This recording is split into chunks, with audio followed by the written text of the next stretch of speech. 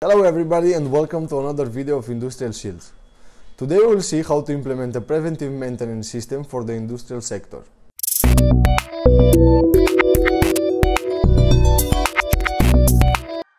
In preventive maintenance, the aim is to avoid breakdowns by acting before they arise. It is usually done by replacing wear parts before the end of their useful life. It can also be cleaning or lubrication actions. This system allows planning the intervention since the machine installation works correctly. Predictive maintenance is a variant within preventive maintenance which consists of analyzing and measuring the wear of the elements to replace them as soon as they show symptoms that predict the failure, before the failure materializes. This system is the best in terms of reliability because it allows us to know with certainty that an element must be replaced.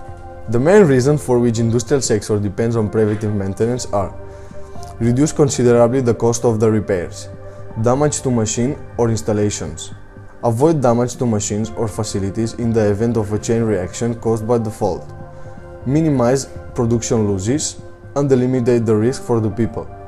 In order to create a system capable of controlling the preventive maintenance program, it is necessary to define three very important aspects. Define assets, define procedures, and define the cadence. We are taking for example a factory with several machines running at the same time, in which we can find engines, compressors, robots, conveyor belts, and hydraulic presses. To create the automated system, we are going to use the latest technology from Industrial Shields in terms of data acquisition and communication. For this example, we have chosen an M-Duino 21 Plus with Wi-Fi and Ethernet. The idea is simple. We have to install sensors in each machine at critical points where preventive maintenance is needed. You can find the whole explanation of the system in our blog page attached on the description. The PLC will connect the data from all the sensors and when critical levels are registered, it will activate the alarms. At the same time, it will create a new record for each machine with the intervals of the faults so that it can also do predictive maintenance. These records can be stored in a cloud or on a server that is accessible to the company from anywhere.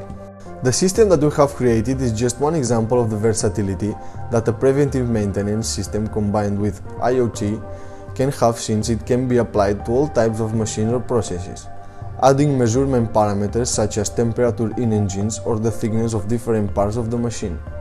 Remember that in our blog or YouTube channel you can find more information about our products.